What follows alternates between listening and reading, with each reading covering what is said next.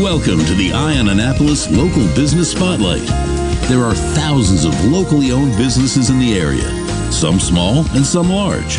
Some you may know and others you don't. But one thing they all have in common is a great story, and we want to share it with you. Join us every Saturday as we talk to the founders, the owners, and the managers of local businesses you have come to know and love, and those you will come to know and love. Now, here's your host, John Frenaye, with this week's Local Business Spotlight. I would like to say that we're sitting here in Sweet Frog, the ice cream shop, but we're not. We're sitting here with Reminiscent Luxe Candle Lounge, and we're talking with Ashley Scales, who is the owner. How are you today? I am doing well. You're not quite open yet because I do see boxes all around here. Yes. And the date is going to be Saturday. What would that be? The 4th? December 4th. Yes. That would be awesome. Well, you are a new store coming into the Annapolis Town Center. You are located right underneath Target. Best location ever. Um, it, it really is. You, if you get hungry, you look out the front window and you see True Food Kitchen right, Right. there. So that's not too bad. And you're bringing what I think is a neat new concept into Annapolis. Yes. And uh, we will go and say that you are at this point a pop up. yes. Um, because there, as with any retail location anywhere across the country, there are some vacancies. So this is a great time for an entrepreneur such as yourself to be able to come out and try the waters and see how it's it's perfect. As much as I thought this would have to be around my five year plan, it is now my third year plan. So this is amazing. ain't nothing wrong with that. Nothing is wrong with speeding up. Well, the website, like get the business out of the way. The website is reminiscentluxe.com and Yes, that is R E M I N I S C E N T L U X E with the end of it. Yes. dot com. And this is a candle lounge, candle salon. Yes. So I can come in here and purchase some wonderful scented candles. You can do more than that. What I- you what- okay, so what can I do? You can purchase candles or you can make your own candle. The goal of Reminiscent Luxe is to give you the DIY experience of a lifetime. So you pick your jar, you pick your fragrance, any of those little toppings that you may see, like lavender buds or rose petals or anything, you make your candle to your standards. Okay, you know, now this is exactly what I'm talking about that Annapolis needs. You know, this is a funky, unique type of a situation. You're not selling any t-shirts here. Maybe you've got some merch. I don't know. But I mean, It's- it's coming. you're not, It's you're not a coming. you're not a t-shirt shop that's, that's coming in just to sell to that. And, and this is a unique experience. This Yes. is not just, uh, you know, come in. I mean, you're, this is a destination. You're coming in to make some candles. You're making a product. Uh, Right. It's a, it's a great gift. I mean, A, it's, it's a, it's a homemade gift from the heart, if you will. No, really. I make all of my candles. That sounds like a Hallmark card, a gift from the heart or something like that. Yes, I, it's made with blood, sweat, and tears. It's from my heart. And I was on your website and I saw your mission is the mission of Reminiscent Luxe is to create spaces all over the world and homes, pop-ups, retail spaces. Um, that's all marketing fluff there. Right. Um, where consumers can reminisce and celebrate the essence of, now here's where it gets kind of funky on me. 90s R&B hip hop culture with the lighting of every RL candle. Yes. So where does this hip hop R&B culture come in? So I was born in 85. So I am well rehearsed a in the 90s, right? I, I may be a baby, but I think I got a good, you know, soul, older soul. I like going back to the 70s and the 80s mu- music, hence why I like their samples in the 90s, 90s music. Um, so with each candle on your label, you would have a QR code that when you scan it, it takes you to a playlist that will give you about an hour and a half of music to vibe with that candle. That's really cool. How do you, how do you curate that? So I, on Saturday mornings, it, it was a ritual when, when I was growing up. You wake up, you clean up your house, you have your music going. Um, we would light our candles to make sure the house smelled like bleach, uh, Pine-Sol, and then something fresh. Okay. And Horrible sense for candles. I know, right? but it, it's still, you knew your house was clean. Right. So then you would light your candle so you can kind of wash that like clean, clean scent out. Right. And the music just came apart from that. That's how I knew to clean up on Saturdays to have my music going. So when I would light my candles, I wanted to incorporate my music somehow. How'd you get into candle making? So it's a funny story. I was with my friend, um, and my husband was looking for something, and he found this huge bookcase of candles that I was hoarding. And anytime I went to a, a store, Marshalls, whatever, if I liked that scent, I would just wipe out the shelf because I couldn't find it when I wanted it. I just needed to have it on hand. So he comes and he's like, "Babe, you have a, a big problem. Right, right. We need to, we need to talk right, to somebody we need to this. talk." and my friend was like, "Well, you're crafty. Why don't you make them?" I'm like, "Who who's doing that?" And she was like, No, I think you totally can kill this. And so a year of testing is when I was like just trying to make one scent. And eventually I got it and I was, it, it, worked. But then people were like, well, where did you get this candle from? And I was like, oh, I made it. I can make one for you. And it turned into something that I was like, oh, this is fun. Maybe I should sell it. But I didn't want to just be candles. I wanted it to have an Ashley feel to it. And that's how the QR code came apart. And the R&B and the, yes. and the music. So is music in your soul? Of course, it's going to be everywhere. It's it's pictures hanging up in my wall at, at our home. It's when anytime that anyone rides with me in the car, if there's a song that comes on, it's trivia. Where was this sample Where? from? What movie did it come from? It's always going to be a part of me. It's funny you talk about trivia. I was just playing in a trivia game one time, and a friend of mine who happens to be an attorney was the question was like, "What year did this album come right. out?" And uh, stumpers. We we we, we lost the question, and right. he, being the lawyer that he was, took him to took the DJ to task and was going no no no no, and because he didn't specify in the U.S. or the UK because it had come out like the month before in the UK, and he right. somehow knew that. and uh, argued. I was like, okay, fine. You know, right. I but, may not go that deep, but I will be able to tell you United State facts. now, we are sitting here in the space that uh, is being put together as we speak, which is very exciting. Uh, I imagine that when I come in here on December 4th, there's going to be music playing. There's going to be music playing. Loud? Um, not too not too loud. We don't want to, you know, mess up. Away. Right. We don't want to mess anybody up on on the outside. But yes, it's going to at least have the ambiance of what I, I want to give out of what I love. Now, your candles that you're making, what are you? What sense do you make? I mean, how do you come up? I mean, are these oils and essences that you put in, or of course, it's it's a little bit of my juices inside, but all of the candles that I make all clean scented. If it has a clean base, I love it.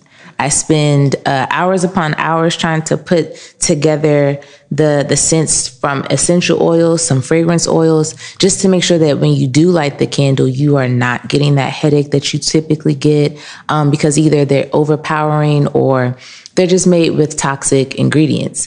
So I want to make sure that a candle that you light is clean, but then also gives you a it reminds you of something of your childhood or where you were or a song that you used to love and it just gives back a good memory. You know, it's funny. Scent is such a strong emotion. Uh, and scent is not really the emotion I get, but I mean, it, it brings up such strong emotions. I know uh, my grandmother used to wear a particular brand of perfume, okay, and she's passed away for many, many years, but every now and then I will uh, pass some old lady in the store or something like that, and it'll be like, and you get a nice smile, like, right? Bam, there's grand. You know, you're looking around. Is that grandma? Yes. And it's it's so it's so neat. Now let's talk a little bit about candles as I guess the product. I mean, one thing that I don't like is you mentioned overpowering candles, mm-hmm. and I mean there's some stores that are there. You walk in and it's just you open the front door and you're just absolutely floored with the Bam. scent. Right. And it's not even really a pleasant scent because it's a mixture of like five you know, pine trees and flowers yeah. and cinnamon and apples and you know and and you know maybe a little bit of funk from somebody's you know lunch in the refrigerator right. or something like that. But how do you make a candle that's a good quality candle? It starts with your base. It starts with your wax, what kind of wax you use. Uh, I think that candles are big now because of the knowledge of knowing that you should not just have a paraffin candle. That's how you get the the really cheap candles, but um, they burn quickly or the scent is too too overpowering.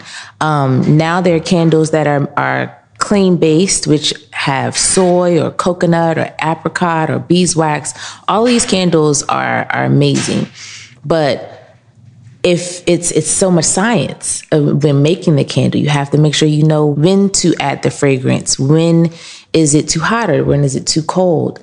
Um, it's it's so much math, so much science, but I think I've got it down packed. If you would love to smell them, I was kind of hoping. I was sitting and looking at these yeah. jars and like, Oh wow.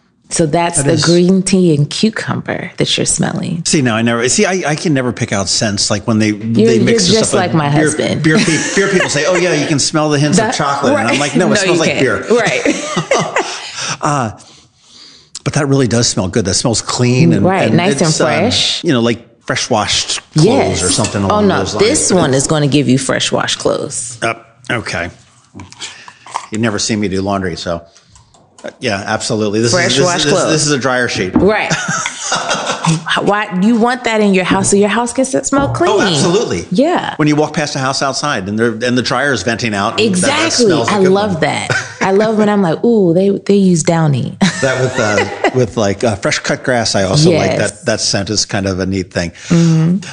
Talk to me about the build your own, do your own candles here. Now, how long does it take to do this? Is this something like a paint your own pottery where you have to come back in a week to pick it up? No, no, no, no. So the great thing about being here in Annapolis is that candle making actually is going to take about 30 to 45 minutes. It depends on how much fun you want to have. Um, but it will take at least an hour for them to cure. So that means that they need to adhere to the jar and then it be a solid so it can transport with you in your car. So being here, you can go to Target, you can go out to go get something to eat, you can shop around, you can do all these things and come right back and get your candle. How long do you have to wait to burn them? I would wait until the very next day. Just don't go home. So 24 hours pretty Right. much and, and figure that out. Right. And how big do these candles go? I mean, these are little, um, So I'll say these are, these are can, like can peas or Right. can green like beans. salsa size. jars. The my candles are a eight ounce candle. The jars uh, that you would make here would give you about eight to ten ounces. So you can have your candle for about a month because you you still are using really good um, ingredients. Uh huh. Very cool. And now what is, what is the largest candle that you've made? My largest candle, a friend of mine wanted me to make one of those huge candles that sat on her fireplace. I was like, I don't even think that that can be sent to you. So I think I've done maybe about 24 ounces. Okay. Yeah. All right. So that's about what I'm seeing here in front Right. of me. Right. I do. I do like those large ones with like the multi wicks and Yes. stuff like that. They do. Everyone they wants a do- three wick candle. I think they're amazing, but I think that if you once you learn like the the do's and don'ts of actually keeping your candle, you'll realize that the one wick candle works just as great. Mm. So if you have good fragrance in, in your candle, the three wick candle, I mean, would fill up a whole house, right? That's what our mind thinks is that three wicks just should fill up my whole house. But if you trim your wick and you have it in a good standard place, so will that one. How long should they last?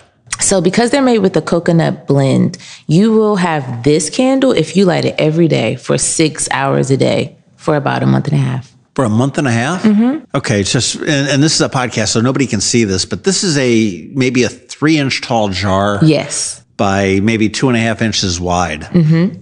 And you said that we could burn that six hours a day Mm-hmm. for 30 days. Yep. I've had customers come back. They will buy six or seven candles and I won't see them until the next quarter. Very cool. Yes. That's you know that that's the that's the nice thing when you get a candle that a burns clean and it's not putting the black soot up on your ceiling. Right. And um, that that will last. Yes. As opposed to you know I I've had some cheap candles where you light them and And they're I forget gone. and I walk the dog and it's And you know it's just a bunch of liquid on the bottom Yeah. and then I do the stupid boy thing and put my finger in the hot wax and peel it off and If you do that here, it, it will feel moisturizing. oh bonus. Bonus. That's funny. Now what else have you done besides uh, has candles been your career? Um, I actually have done an array of things. Um, after leaving college, I've been in PR, I've been graphic design. So the the funny fact is, as most entrepreneurs, you find that you're doing every single job. You're, Sure. you're doing the photography, you're doing your website, you're doing your Instagram, and you're making your product on top of trying to be a wife, a mother, a husband, whatever. I it, am a graphic designer, so I've done all of my labels. I've done my website. I have done my Instagram. Literally everything comes your, from your these past hands. experiences have really sort of led you to be able to to do it all. I mean, hopefully at some point you're going to be able to not be doing it all. Right. I would love to give it away. Um, no, I was also on your website again. I looked in, and you were talking about different classes. Obviously, we've got the classes in making candles, Yes. uh, and the and the workshops and everything else. But it was talking about wreath making and charcuterie. Yes. So what the heck is that all? So here, here's the other thing about me. I love a good craft night. If you come to my house or if you're you're hanging with me, we are going to do something crafty. So I wanted to bring that aspect to the store as well. So uh, because it's the holidays, why not let's do a reef class? I, I would do that at home. I would definitely sign up myself if I was a, a customer. Um, so we're going to do that on December the 12th. Well, what we can do, we can we can go to reminiscentluxe.com, and that's on. That right that's on the there. website and the website is now live so that's amazing too um, and then the charcuterie boards i think that would be all things to gear you up so if you're hosting why not show off your your new skills Got something visual, you got something smellable, and you got something eatable. everything here at reminiscent luxe we're a one-stop shop Nothing, nothing wrong with that. Now, how long are you popping up here for? i am here until january 15th Okay, so you're through the full holidays. yes This is a and candles. Let's be honest, candles are a perfect gift, especially Perfect. for everybody has people on their list that you go, oh God, what the hell do I get? right a good this- stocking stucker This is a perfect gift. Yes. Um, what do the retail prices of this? I mean, the class is what The classes, so if you do the the wax and wind down with us, that's about fifty dollars. The reef making and the charcuterie boards are about sixty five dollars, I believe. Um, so I think that would be great if you you and a friend come over. We supply all of the supplies, the the ambiance. Um, I think we're gonna have some cider here. there you go. Right. And then the candles are twenty four ninety nine. So I think that those are perfect gifts, like you said. And then with the playlist, it's just the the gift that keeps on giving. That's amazing, and got a cool little logo that Ashley designed up there Yes. with the RL. Now, where did Reminiscent Luxe come from? Just that, just a name that you would, a brand that you would thought would work. No, we did. I did a lot of hard work. Uh, I had. I've been making candles for three years now, and I used to be just designed by Ashley Scales, which is my name. Um, and that was an ode to my mom because my mom used to make jewelry, and she did design by Diane. So after having these this three year of candles, I had someone reach out to do a focus group to my customers and see what did they like about the candles, what didn't they like, what how they felt when they burned them, all of the normal focus group questions. And apparently reminiscent was a word that came up often with all of the the customers. So I was like, well that's great. Let's let's use that. And that's how reminiscent luxe came And about. then, then Lux us. right, because it's still a luxury experience.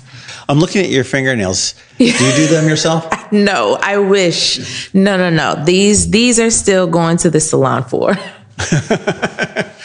Everybody has to have their own expertise. Yes. Correct. Yes, Correct. I have to stay in my lane.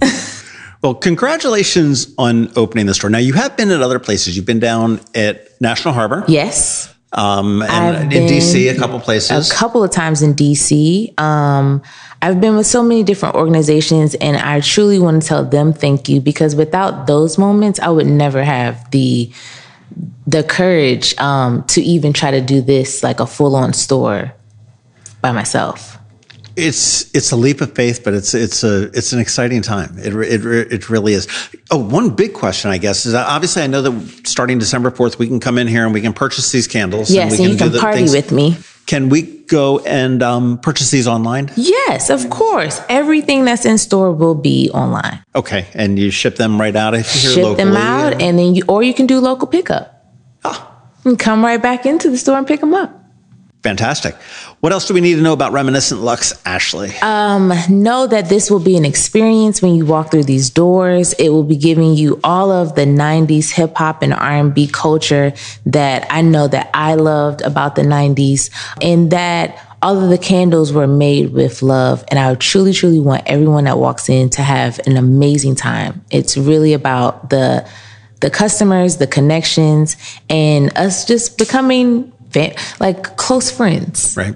Any truth to the rumor that Beyonce and Jay Z are coming here for the grand opening? I mean, if they pop up, it it it will be an amazing time for us all.